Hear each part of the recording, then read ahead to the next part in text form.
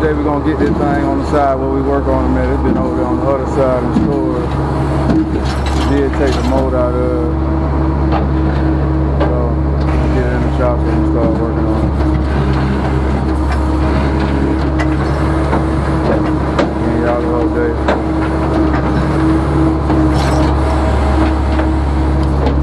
Gonna be fun. We're gonna do it. Put it on rollers, take it in there. Fine, done. Yes, sir. I already mold out there.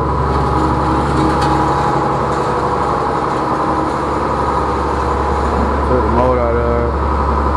Broke it down. Damn. Got a white nose right here. So, motor still brand new, everything good, nothing wrong with nothing. But that's all was wrong with it. So right now, we ran through everything. And uh, everything seemed to be looking pretty good. So got us a new camera lift kit from Summit. Gonna try it out. So, make sure y'all subscribe, stay tuned. We're gonna get it right.